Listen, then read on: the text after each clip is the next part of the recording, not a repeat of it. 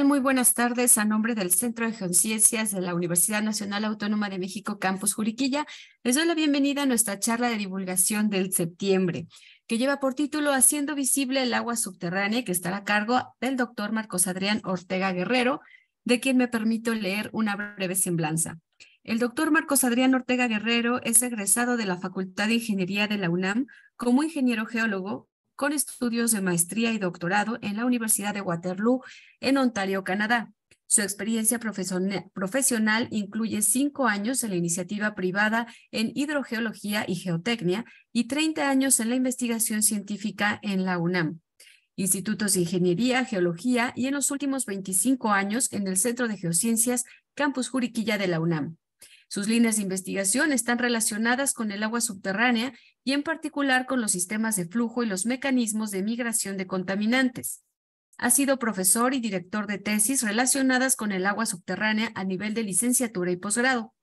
Diversos proyectos de investigación que ha desarrollado le han permitido trabajar en el marco de la interdisciplina y la transdisciplina para desarrollar mecanismos de transferencia y divulgación del conocimiento científico para el desarrollo tecnológico y la toma de conciencia colectiva y política en torno al agua. Pues sin más, le cedo la palabra al doctor Marcos Adrián Ortega Guerrero. Buenas tardes, doctor. Eh, muy buenas tardes, Julieta. Eh, muchas gracias por la presentación. Y bueno, como siempre es un gusto participar en estos eventos de divulgación del Centro de Geociencias. Gracias. Adelante, doctor. Bien, la, la charla está centrada en un tema de bastante interés. Eh, el año pasado el, eh, el organismo, eh, la, la ONU y a través de UNESCO, abrieron el tema de hacer visible lo que no vemos en términos de agua, es decir, hacer visible lo invisible en la temática del agua subterránea. Y se me hizo algo muy interesante porque a nivel internacional se desconoce mucho del tema de agua subterránea a pesar de que, a pesar de la importancia que, que esta tiene. Eh, sin embargo, a través de revisar un poco la, la experiencia de, de los últimos cursos, eh, empecé a integrar algunas ideas donde eh, que se las quiero presentar. Entonces es un poquito provocativa la, la presentación de, del día de hoy. Espero que les guste y que sea divertido, divertida para todos y todas.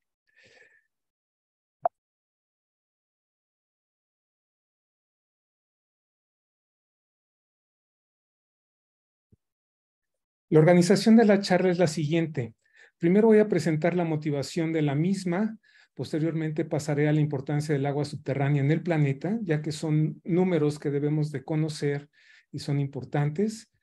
Después la importancia que tiene el agua subterránea en México.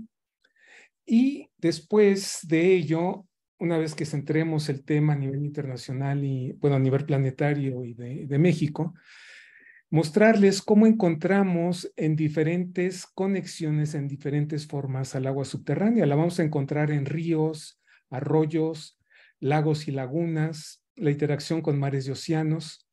Es el sustento de muchísimos ecosistemas, algunos más que otros.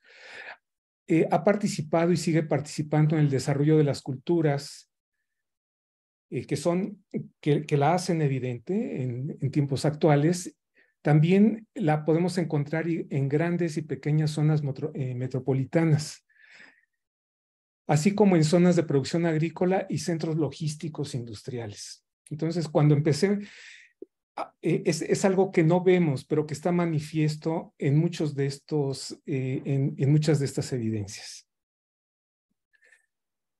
me refería en un principio a este programa de Naciones Unidas donde las aguas el tema era aguas subterráneas, hacer visible lo invisible. Aquí eh, muestran un, un arroyo, pero que en realidad está alimentado por aguas subterráneas, como veremos en alguna de las imágenes posteriores. Hay una conexión total del ciclo hidrológico con el agua subterránea y el agua subterránea juega uno de los papeles más relevantes en el, en el ciclo del agua. De igual manera, en este en esta página de Naciones Unidas pone una fotografía muy interesante de, África, donde está una señora sacando agua con un, bote en un agujero que se hizo, no está ademado, como sería una noria en muchos de los casos en México. Y a partir de cierto nivel vemos que ya está la presencia de agua. Esta superficie de aquí es un nivel muy importante, ya que a partir de ahí hacia abajo, todas estas arenas que aparecen ahí en la imagen, está totalmente, todo el espacio poroso de las arenas está lleno de agua. Mientras que en la parte de este nivel hacia arriba coexiste con la presencia de aire atmosférico, que es la zona no saturada. Entonces, esto lo, lo vamos a ver con mayor detalle en la, en la presentación. Y eh, vamos a tratar de encontrar otros mecanismos de hacer visible la presencia del agua subterránea. Para ello, es importante determinar o conocer a grandes rasgos la distribución del agua en la superficie del planeta. Eh, conocemos muy bien eh, todas estas designaciones que se le hacen al, eh, a la Tierra como el planeta azul por la presencia principalmente de agua. Y vamos a ver los porcentajes de distribución de la misma. Los porcentajes varían poco de acuerdo con muchos autores y también del énfasis que se haga en alguno de sus, de sus características. Entonces, analicemos la distribución del agua en la superficie del planeta y lleven las, las cuentas. Bueno, en mares y océanos, el 94% está concentrada, eh, el agua está concentrada en mares y océanos. ¿Sí? Es, hay una distribución muy amplia, tenemos las partes continentales y separadas por los mares y océanos que cubren más del 70%, eh, pero el 94% del agua está concentrada en estos mares y océanos. Posteriormente veremos una tabla en términos de profundidades y de tiempos de residencia. Pero en mares y océanos tenemos el 94% del agua. El 4% es agua subterránea. Esta imagen eh, muestra en la parte central es un diagrama esquemático del ciclo del agua, de cómo el agua se infiltra, escurre, se evapotranspira, pero hay una componente que se infiltra y circula en el subsuelo a través de los espacios porosos o los espacios de fracturas que tienen las rocas. La imagen de la izquierda es un manantial, que es una salida de agua subterránea, donde el agua subterránea corta la superficie del terreno y sale a la superficie. En, eh, la imagen derecha tenemos un pozo que después de haberse eh, terminado, el agua subterránea sale, porque en este caso en particular, eh, la profundidad a la que se encuentra instalado el pozo tiene una energía tal que permite su salida de manera natural. Eh, la siguiente, aproximadamente el 2% del agua está concentrada en casquete polares y glaciares. Entonces, con esto, si ustedes han llevado la cuenta, tendríamos 94 más 4, sería 98 y prácticamente el 2% en casquete polares y glaciares. Y ustedes se preguntarán, bueno, ¿dónde está el agua superficial? El agua en la atmósfera, el agua en los ríos, el agua en los lagos, y bueno, eh, el agua en los seres vivos. Y bueno, la presencia de agua en, en todos ellos representa menos del 0.01%. Y esto es muy importante porque tradicionalmente estamos acostumbrados a ver el agua superficial como la, la, concentración principal de agua o en las nubes, principalmente cuando hay huracanes, pero no, la presencia de agua en todos estos eh, eh, eh aspectos o en, en, todas estas situaciones representan menos del 0.01%. Entonces, la fuente más importante del sustento de la vida en el planeta es el, eh, en, eh, en las zonas continentales, es el agua subterránea. Y veremos diferentes ejemplos de esta agua subterránea que normalmente se ve a través de pozos, pero no necesariamente. Vamos a encontrar que existen otras formas de visualizar esta, esta agua. Y por lo tanto es importante que aprendamos también más de la misma de cómo se interactúa con los otros elementos del ciclo hidrológico para que le demos un uso más adecuado y también para que la gestión del agua sea lo más adecuado posible, ya que de no entender su funcionamiento podemos incurrir en errores de gestión importantes que tienen consecuencias en la salud y el ambiente, como veremos en una par de diapositivas finales. Hablemos primero de los tiempos de residencia. Aquí me disculpo porque tuve problemas con la tabla que ya había elaborado en, en español pero da idea perfectamente de las características de los porcentajes que les mencioné hace un momento. Tenemos aquí los diferentes parámetros de el, agua en mares y océanos, en los lagos y presas, en los pantanos, en los ríos, como humedad en el suelo, el agua subterránea, hielos y glaciares, el agua en la atmósfera y el agua en la biosfera. Aquí están las áreas eh, que, equivalentes de superficie en kilómetros cuadrados.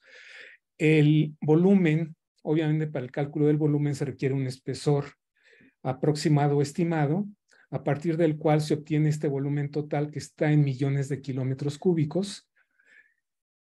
Un porcentaje del volumen eh, total, aquí está el porcentaje de los eh, que les mencionaba en las diapositivas anteriores, de 94% en mares y océanos, 4% de agua subterránea, casi 2% en, eh, en los glaciares y polos, y el resto son pequeños porcentajes. Ahora, el tema fundamental que sigue son los tiempos de residencia del agua en cada uno de estos parámetros. Por ejemplo, en el caso de mares de océanos, el tiempo promedio de residencia es hasta de 4.000 años.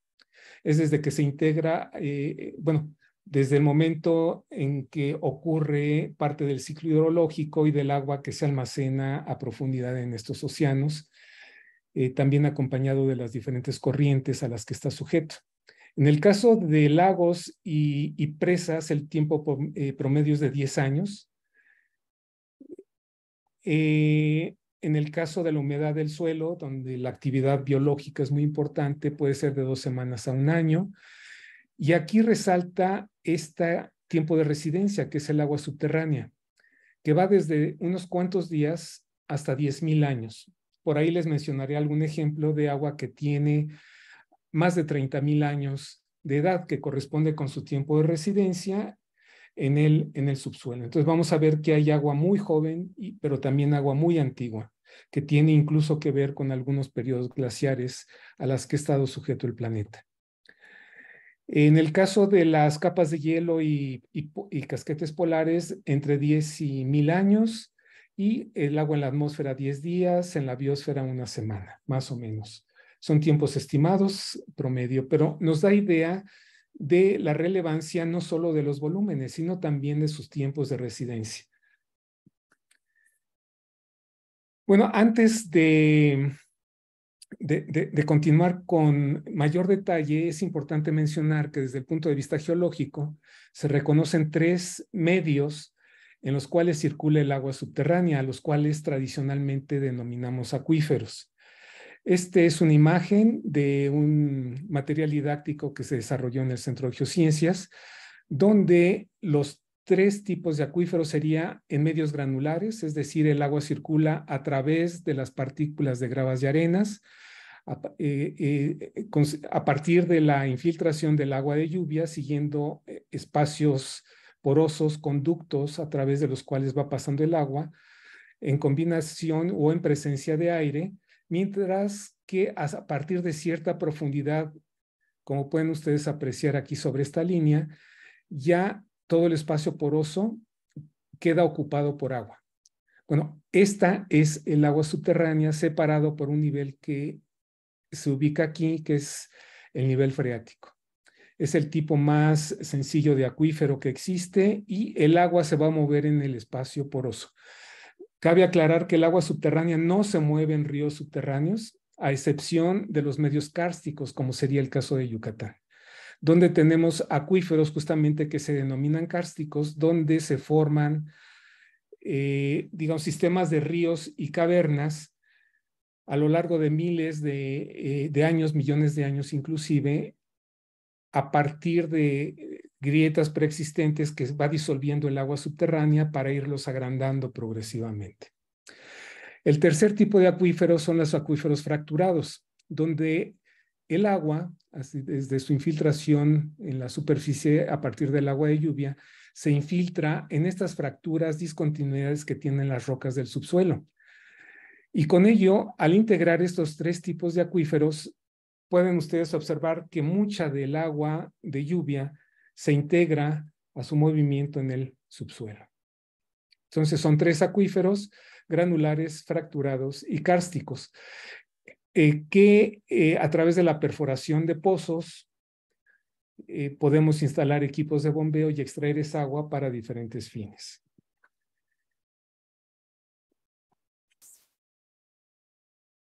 Ah, y aquí viene una, la, pregunta que les hacía al principio, que aunque el agua subterránea no es en general visible, la podemos identificar en diferentes, en diferentes temas eh, situaciones de nuestras vidas, que serían, por ejemplo, en los ríos y esteros, lagos y lagunas, la interacción con los mares y océanos, sustento de ecosistemas, desarrollo de culturas del pasado y actuales, el desarrollo de grandes y pequeñas zonas eh, metropolitanas y en zonas de producción y centros logísticos industriales. Hay otros más, pero por lo pronto me voy a centrar en, en ellos.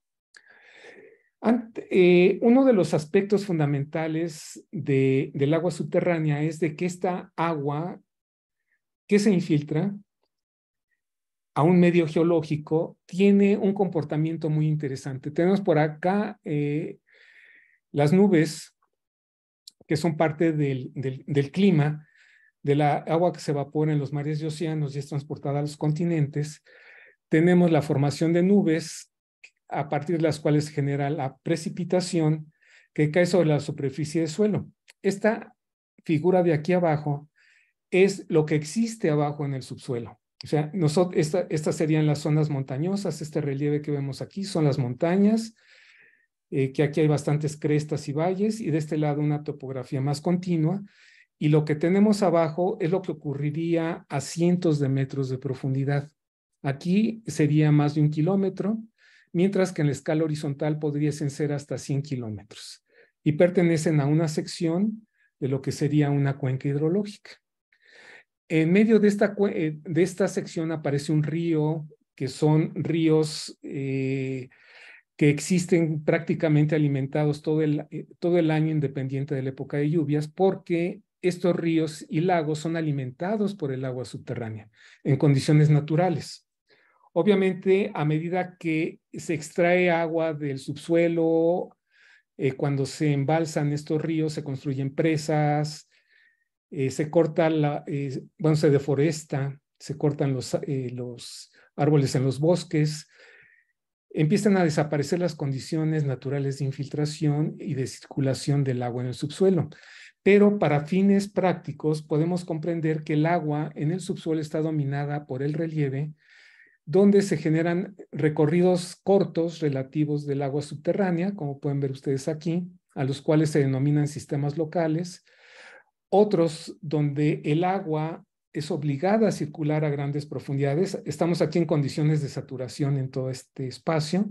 Entonces, parte de esa agua que se infiltra puede llegar a alcanzar cientos de metros de profundidad, recorrer decenas de kilómetros en la sentido horizontal y posteriormente salir a partir de un flujo ascendente en los ríos y lagos que se encuentran en las partes medias de las cuencas.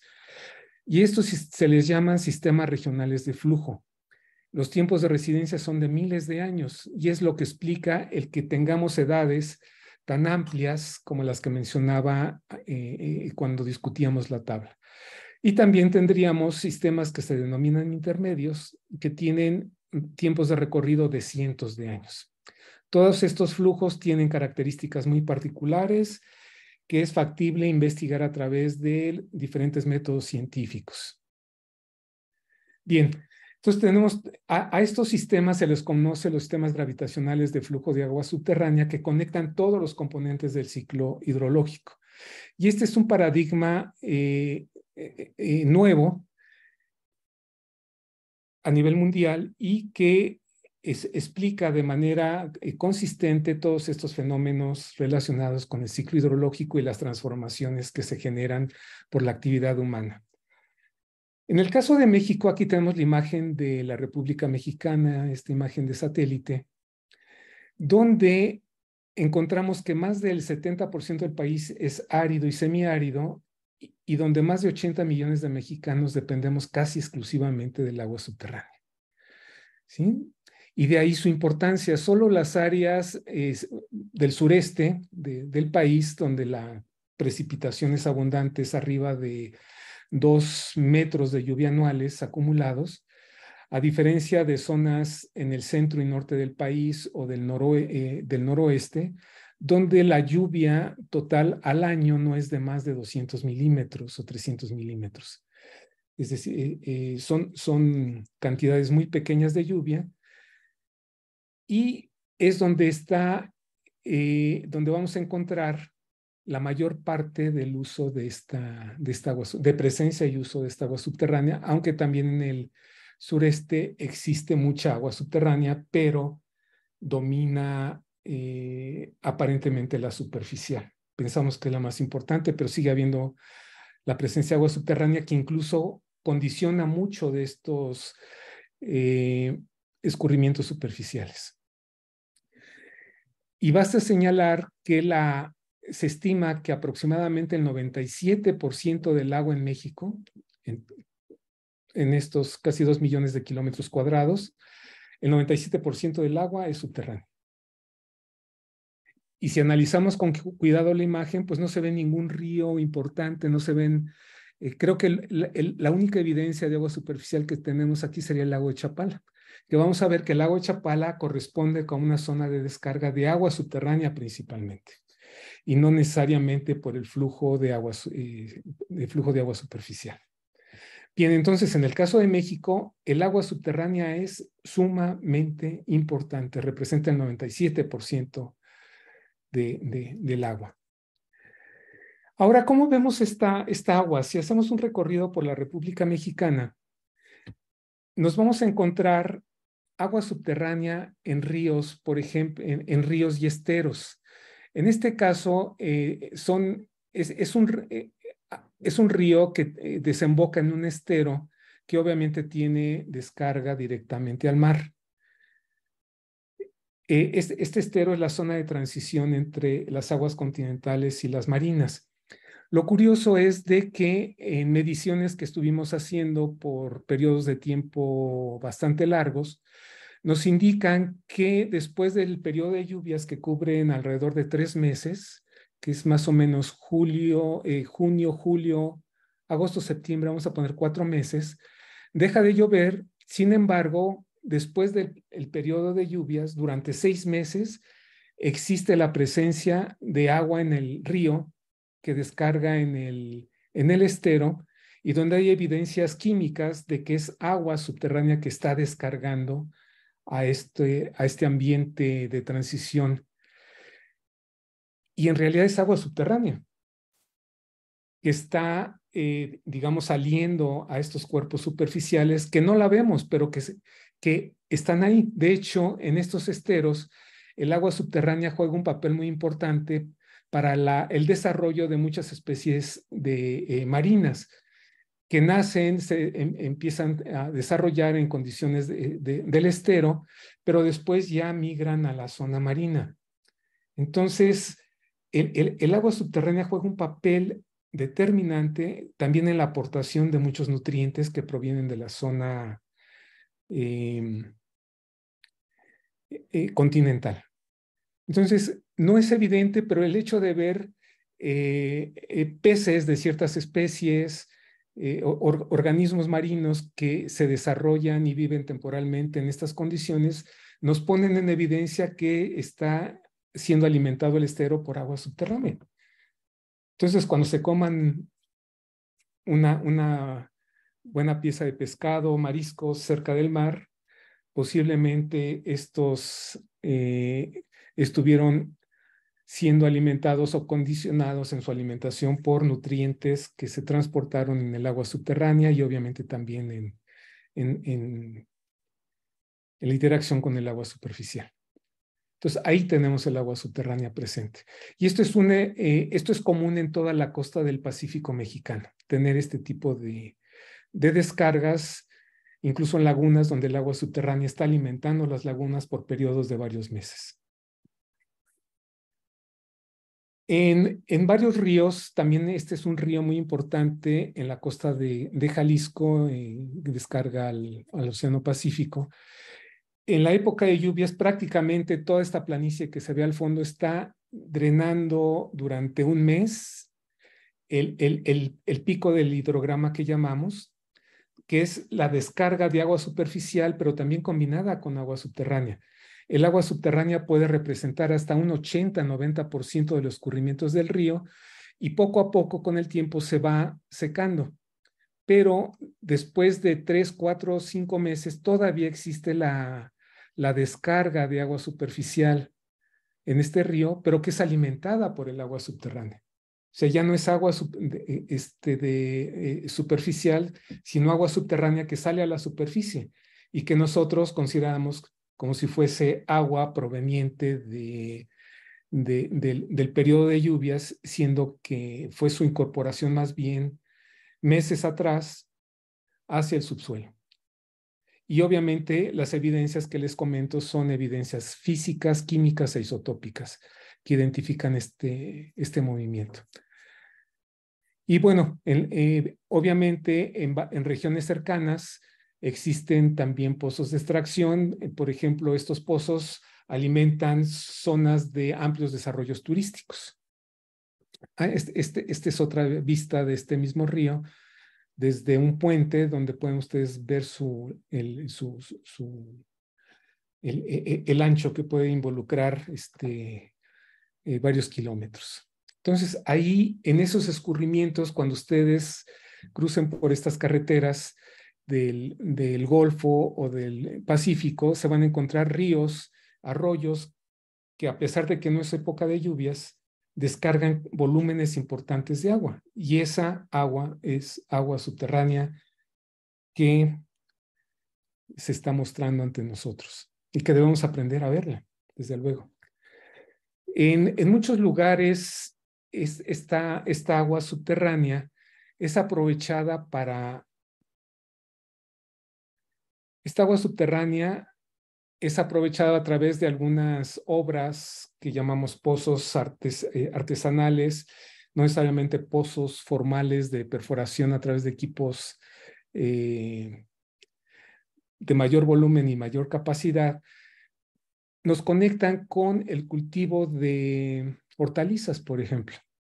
Entonces, mucha de la producción que se da en algunas zonas costeras tiene que ver con el uso de agua subterránea que vamos a encontrar en, la producción de, vegetales, hortalizas, incluso de algunas especies eh, animales. Entonces, es, es, otra forma de, de encontrar de manera indirecta la presencia de agua subterránea. Y muchos de estos arroyos pueden fluir hasta seis meses después del periodo de lluvias. Es decir, sostienen toda la actividad económica de, muchas regiones eh, cercanas a las zonas costeras, por ejemplo. También encontramos el agua, las evidencias de agua subterránea en lagos. Por ejemplo, tenemos el lago de Chapala. El lago de Chapala, que es uno de los lagos más grandes del país, en realidad recibe su alimentación a través del subsuelo desde sus zonas, desde las zonas montañosas donde recibe mucha de esta agua que se infiltra en los medios fracturados, posteriormente en, medios granulares, mucha de la alimentación que recibe no es lateralmente, sino que es por abajo. ¿sí? En, la alimentación, como les enseñaba en una de las imágenes, es abajo del lecho eh, del lago. Entonces, a pesar de que mucha del agua ya de superficial prácticamente no llega a Chapala, se queda en la, eh, como parte de la, de la cuenca eh, Lerma, Lerma Chapala, desde el Estado de México, en su paso por Guanajuato, eh, Jalisco, prácticamente toda esa agua es captada, utilizada y ya en, eh, el agua que llega a Chapala es prácticamente insignificante. Entonces, ¿por qué sigue Chapala ahí? Porque se alimenta de agua subterránea. Entonces, cuando vayan a Chapala y vean este, este lago, vean otros lagos más en, en el país, imagínense cómo el agua subterránea los está, está alimentando. Y obviamente con todo el sustento económico que genera para la región, económico, eh, eh, eh, turístico. También existen eh, evidencias de otros lagos en el pasado, por ejemplo, en esta región de Guanajuato, donde Dolores Hidalgo está aquí al centro, aquí está el río La Laja, existieron lagos muy importantes, el Huaguenandé, que era un lago chichimeca, y el Curinitz también. Entonces, estas zonas eran zonas de descarga, hay evidencias físicas, químicas, biológicas de que existía descarga, alimentación de por abajo de estos lagos, pero debido a la extracción excesiva del agua subterránea, el, eh, bueno, el río La Laja era un río permanente eh, eh, antes de los setentas. Actualmente ya solo lleva, escurre por unas semanas en la época de lluvias, pero estos lagos ya desaparecieron debido a la extracción excesiva que se hace del, del agua subterránea. Entonces, esto nos lleva, nos lleva un mensaje, que si no entendemos bien estos sistemas, en particular el agua subterránea, y no evaluamos correctamente, en particular sus tiempos de residencia, se puede incurrir en errores gravísimos que sería la desaparición de ecosistemas para siempre. ¿Sí? Son ecosistemas que son prácticamente imposibles de recuperar. Entonces, eso nos lleva a la otra cara de la moneda, la desaparición de muchos de estos sistemas porque se desconoce o no se quiere, eh, eh, no, no se entiende estas conexiones que estamos conectando. Hay otra interacción muy interesante, que son la interacción de aguas continentales y aguas marinas, que tienen particularmente aplicación en la conservación de ecosistemas. Si vemos a nivel planetario, las aguas continentales también descargan al mar. Aquí en esta imagen de la izquierda tenemos que mucha, eh, en, un azul claro, aquí eh, pegado a las, a las zonas costeras, tenemos la descarga de agua subterránea que proviene de del, del, continente y que se incorpora a los eh, océanos, mares y océanos. En, dependiendo de las características morfológicas continentales, pues eran las condiciones de influencia en la zona marina.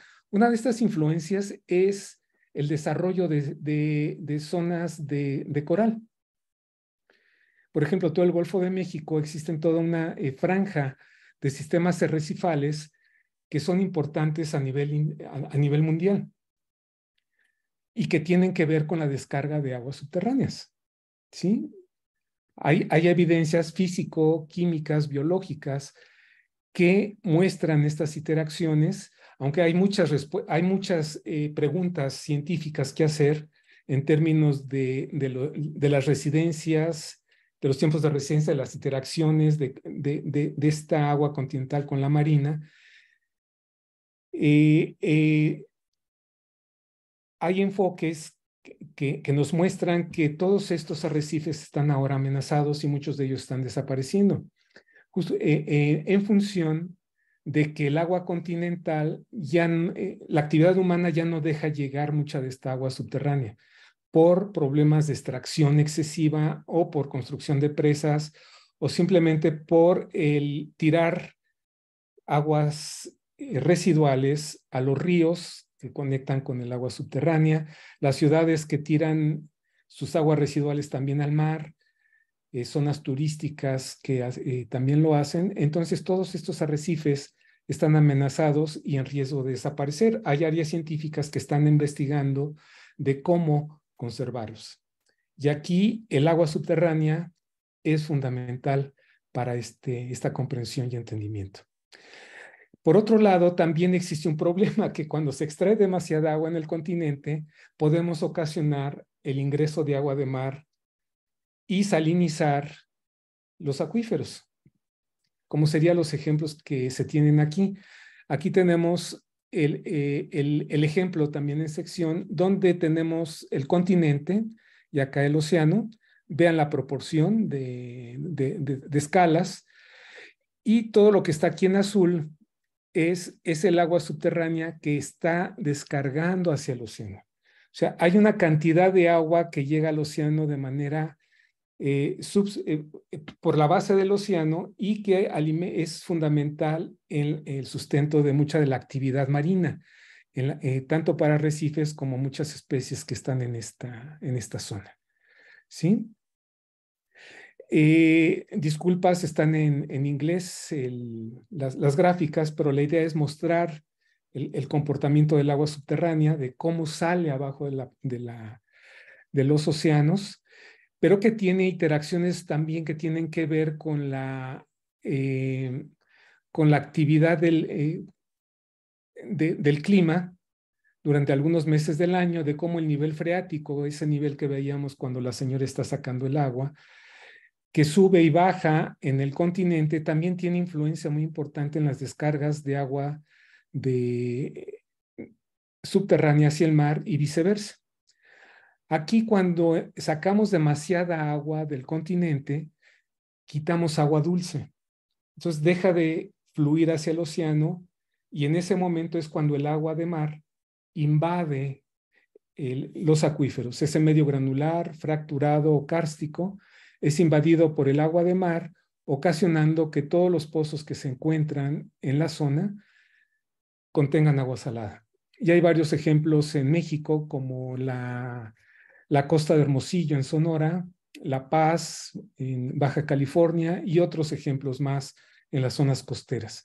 Aquí el tema es de que desapareciendo eh, la descarga de agua subterránea en su totalidad, pueden desaparecer muchos de los ecosistemas marinos y por otro lado, muchos ecosistemas eh, terrestres y la, sostenibilidad, sustentabilidad de mucho eh, agrícola, por ejemplo, y atentan contra eh, también el derecho humano al agua, de un ambiente sano por aspectos de contaminación, que no vamos a tocar mucho aquí, pero que queda abierto al menos el, tema.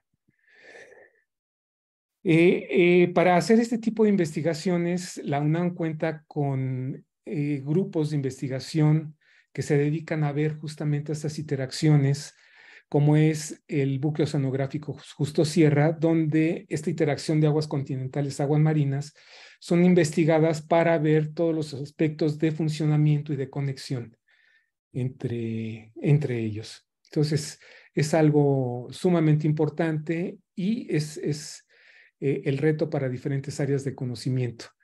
Eh, biológico, eh, marinas,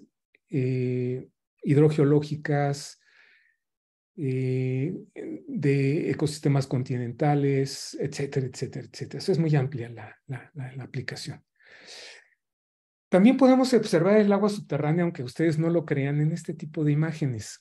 Aquí tenemos un bosque, un bosque tropical caducifolio, en las costas también del Pacífico, donde en la época de sequías vemos el, terreno con estos colores. La, parte alta que corresponde a la selva alta ya está prácticamente seca. Sin embargo, durante todo el año pueden ustedes observar en las partes eh, eh, bajas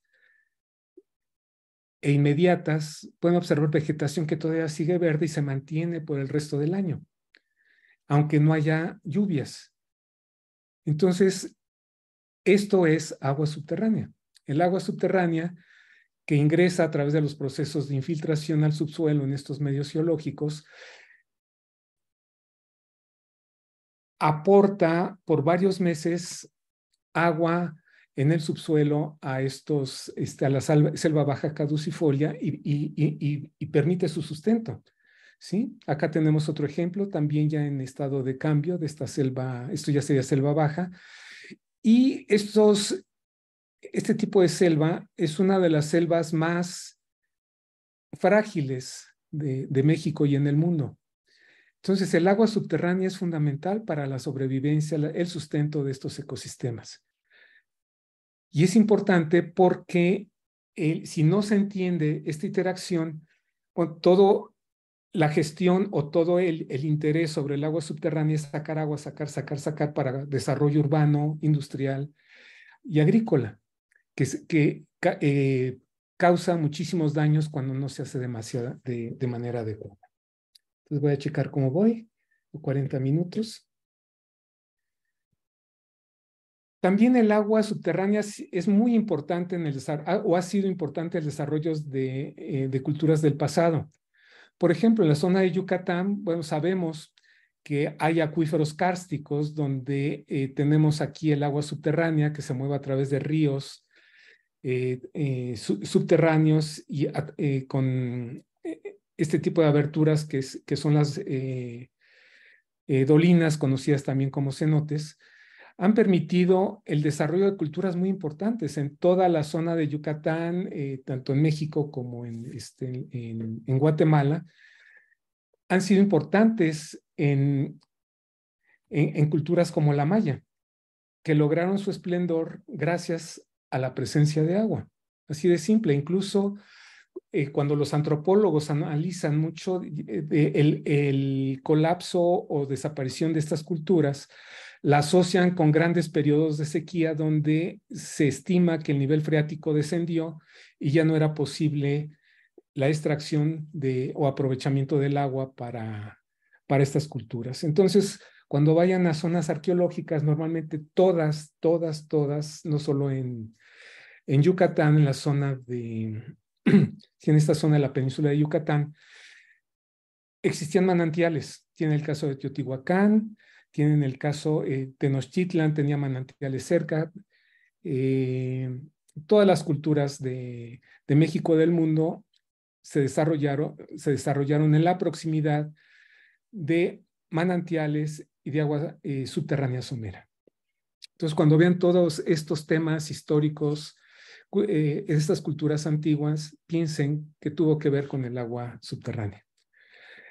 Eh, el agua subterránea también la observamos en grandes y pequeñas zonas metropolitanas. El clásico ejemplo es la, Ciudad de México, la zona metropolitana de la Ciudad de México, donde 60 metros cúbicos por segundo, pues, incluso más, estamos hablando de 60 metros cúbicos por segundo por abastecer a cerca de 25 millones de mexicanos, más el agua que llega eh, superficial a través del sistema eh, Kutsamala, a través de almacenamiento de empresas y bombeo al, interior de la cuenca de México, pero 60 metros cúbicos por segundo se extraen del acuífero que se encuentra abajo de la ciudad y que está provocando hundimientos. Todos saben que la Ciudad de México está hundiendo, que durante los sismos estos sedimentos lacustres se mueven como gelatina porque el 60-90% es agua de estos sedimentos, entonces se mueven como una gelatina, es parte de la respuesta eh, ante lo, los sismos. Pero lo interesante es de que el centro de la Ciudad de México se ha hundido alrededor de 9, 10 metros en, en prácticamente 100 años de extracción del agua del acuífero. Pero hay otras zonas, por ejemplo en la zona de Chalco, que está ubicada al sur de la, de la cuenca de México. Aquí está la delegación Tláhuac, o ahora municipio. Acá está Valle de Chalco, es Estado de México, dividido por esta línea de aquí. Es una línea donde se construyeron 14 pozos de, para extraer agua a 400 metros de profundidad y que al extraer esta agua causaron uno de los hundimientos y de los cambios del paisaje más importantes en la cuenca de México y posiblemente en el mundo que es hundimiento a la fecha de casi 20 metros. Esto de 18 metros fue en 2020, un poquito antes, pero en la actualidad en esta zona de aquí, de esta zona de aquí, llega a 20 años después de 40 años de extracción de agua subterránea en la zona, y en la, en la cual se está formando este nuevo lago donde antes estaba el lago de Chalco. Entonces tenemos casi 20 metros de hundimiento. Entonces, cuando vean, vayan a la Ciudad de México, si son de la Ciudad de México, cuando vean este tipo de situaciones, pueden ustedes intuir que es porque existe una fuente de agua subterránea muy importante abajo de la, de la ciudad. Y también porque el agua subterránea es la que permite que la Ciudad de México haya crecido tanto. De no haber existido agua, subterránea, no tendríamos el crecimiento que tiene actualmente la Ciudad de México. Y de ahí pueden ustedes derivar el riesgo de que, eh, existe de, eh, de la problemática asociada con el agua subterránea si un día llega a contaminarse o disminuir su, la, capacidad segura del, acuífero, que se siga extrayendo agua en, en, en, demasía, más allá de, la, de su capacidad. Entonces va a haber problemas muy, muy, muy, muy serios en la, en la Ciudad de México. Y bueno, al igual que la zona metropolitana de la Ciudad de México, también tenemos ciudades como Guadalajara, Aguascalientes, Querétaro, Monterrey, eh, tenemos Mérida, es, todas las ciudades principales de, del país iniciaron en zonas donde había manantiales o agua subterránea muy somera. ¿sí? Entonces, prácticamente en todo el centro y norte del país el agua que llega a nuestras casas y que desafortunadamente es la forma en que interpretamos el agua que sale a través de, la, de todas estas tuberías, eh, es, es agua subterránea. Entonces, ahora que se tomen un vaso de agua, que se laven las manos, que rieguen, obviamente con criterios o que se bañen, bueno, es porque existe agua subterránea en el subsuelo. ¿Sí? Entonces, liguen esta, esta eh, presencia de agua con el agua subterránea. Y también en zonas de producción agrícola. El 80% del agua en el país se dedica a agricultura. Entonces tenemos muchísimos ejemplos de que el agua que se extrae se utiliza en la producción agrícola. Desafortunadamente, la mayor parte se va al extranjero, no se queda en los mercados mexicanos. Entonces, toda esa producción, el, agua que se utiliza para eh, eh, e, e, en estas hortalizas prácticamente viaja gratis, se les regala a los países que, que la consumen, como Canadá, Estados Unidos y Europa. Entonces hay una huella del agua muy, muy fuerte en la producción agrícola. Además de que se desperdicia muchísima agua. O sea, aproximadamente en, en todas las regiones agrícolas del país, el 50% del agua que se utiliza se desperdicia. Entonces, es, es un problema muy serio que nos lleva a, una serie de problemas.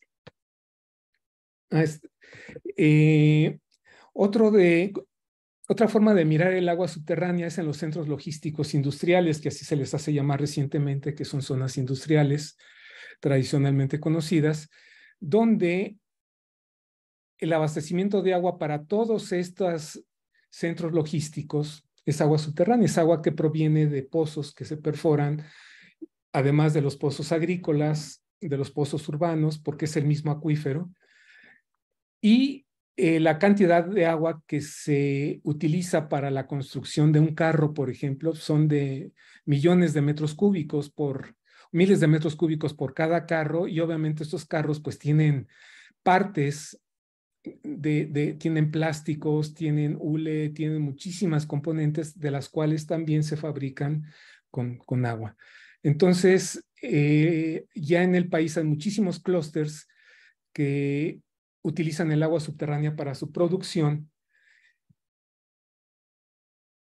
Y eh, eh, que al margen de, la presentación de miles de sitios contaminados que tiene Estados Unidos, derivados del desarrollo industrial que tuvieron en los 50, eh, mitad del siglo XX y finales del siglo XX, por todos los problemas de contaminación que hubo, que fueron miles de casos, decidieron limpiar muchos de estos sitios, se encontraron que, con que limpiarlos era prácticamente imposible, además de requerir de, de cantidades estratosféricas de dinero que incluso Estados Unidos tiene. Entonces decidieron mandar toda esta industria a países con leyes y reglamentos ambientales débiles y también relacionados con una gestión débil del agua subterránea particularmente. Entonces, todas estas, todo este tipo de industrias, si no se, si no se maneja de manera adecuada o se controla de manera adecuada, va a representar un problema de contaminación a futuro muy importante. Entonces, esta sería ya de la prácticamente las últimas diapositivas. Entonces, recuerda, que el agua subterránea está prácticamente en todas partes, ¿sí? Incluso en zonas donde hay muchísima agua, como es el sureste de México, también está presente, ¿sí? Y la vas a ver de diferentes maneras. Vela en, en la producción agrícola, vela en la producción industrial, vela en el sustento de la vida de muchísimos ecosistemas terrestres, en el sustento de vida marina. En fin, si la vemos o la observamos de una manera diferente, la vamos a encontrar. Entonces, este es el, el tema de la, de la plática. ¿Y qué pasa si no la entendemos? Bueno, si no entendemos que existe un funcionamiento que es claro a nivel científico, que existe también toda la tecnología para ello y no se toman las decisiones adecuadas o domina eh, los intereses económicos y políticos más que el bien común, el bien de los ecosistemas, podemos provocar su agotamiento y contaminación. Y ya hay varios casos en el país donde la presencia de flúor está ocasionando estos problemas en niños. ¿sí? En, en algunos municipios, eh, el 70% de cada siete niños que llegan a consulta dental tienen fluorosis dental. Pero el daño no es, no es en los dientes nada más, que genera problemas eh, de diverso tipo. El problema está en que el flúor eh, afecta a los neurotransmisores, afecta la comunicación entre las células, de tal manera que el coeficiente intelectual que anda por acá se puede reducir hasta en un 40% de manera irreversible. Entonces hay miles de niños en el país que están expuestos a, a flor en el agua subterránea provocado por la migración de estos elementos por la extracción excesiva de agua. Y hay otros estados, acuíferos y estados, donde la presencia de arsénico se ha venido incrementando y el arsénico es cancerígeno, principalmente para extracción del agua subterránea para agroexportación más allá de lo que permite el acuífero. Y dadas las edades que les comentaba de, del agua subterránea, hay zonas ya en el país donde el agua que se está consumiendo es de la era de hielo, es de 10.000, 35.000 años. Entonces, ¿cómo gestionamos y cómo cuidamos agua de la era de hielo? ¿Sí? Entonces, cuando vayan a los museos eh, de ciencias y vean los mamuts, este, imagínense que mucha del agua subterránea que circula en el subsuelo pues proviene de esas fechas y es importante que exista agua joven circulando en los acuíferos. Entonces, con esto termino. Muchas gracias. Y este es el manantial de la Media Luna en San Luis Potosí. Es un manantial enorme con una descarga impresionante y que es un buen ejemplo de, de estas interacciones que, que estoy comentando. Entonces, cuando vayan a estos sitios, recuerden que es agua subterránea. Entonces, muchas gracias, este, Julieta. Doctor Marcos Adrián Ortega Guerrero, muchas gracias por esta plática eh, y gracias también a todos aquellos que nos han seguido en esta transmisión a través de Facebook Live. No tenemos preguntas, doctor, pero sí saludos para usted y también felicitaciones por el contenido de la plática. Así está eh, Guillermo Valderas Vega y del Instituto Tecnológico Superior de Cajeme en Sonora. Eh, bueno, lo felicitan por la información brindada. Y bueno, a mí no me resta más que agradecerle, doctor, que haya participado en este programa de charlas de divulgación del Centro de Geociencias de la UNAM Juriquilla. Y bueno, a todos también, eh, a quienes nos siguen en nuestras redes sociales, pues invitarlos a estar al pendiente de las próximas charlas que estaremos desarrollando a lo largo de este año y de los años venideros. Doctor, muy buenas eh, tardes y muchas gracias. Muchas gracias, Julieta, por todo el apoyo y buenas tardes a todos.